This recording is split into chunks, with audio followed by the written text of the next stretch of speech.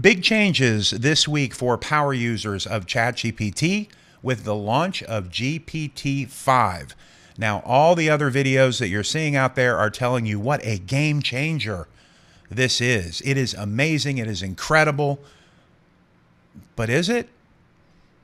I don't know. Watch this video and find out because there is one main issue that nobody's talking about that you need to know. Let's talk about it.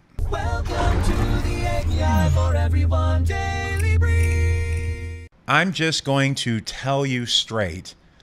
When it came to GPT 5, I'm very underwhelmed.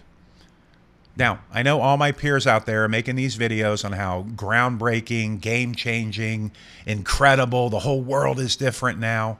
We are going to be so much more productive. Meh, I was pretty underwhelmed by the announcement. Now, I do wonder if it's because the other releases have been such leaps forward, and then this one feels like one of those smaller incremental jumps. Maybe that's it because I'm in this every day and I see all of these changes happening.